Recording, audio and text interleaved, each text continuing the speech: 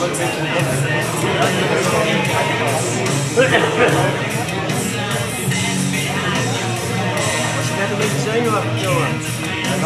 winnaar van deze match staat in de finale tegen Johan.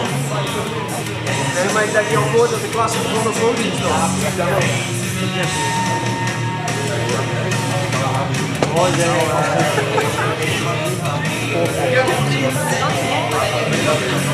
En de winnaar